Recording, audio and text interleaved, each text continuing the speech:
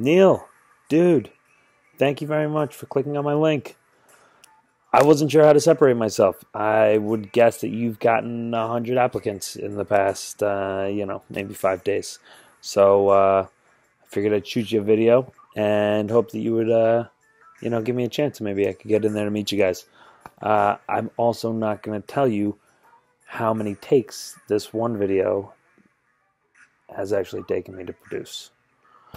Uh, anyway, I've I've worked uh, in sales and marketing at a hedge fund. I'm currently a sales trader at a Japanese bank, and I'm looking to shift industries into something a little more compatible with my personality uh, and values.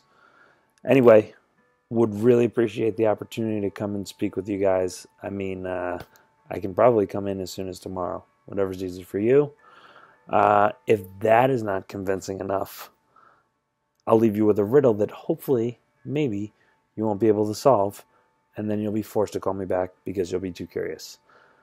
When you don't have me, you want me, but when you have me, you want to give me away.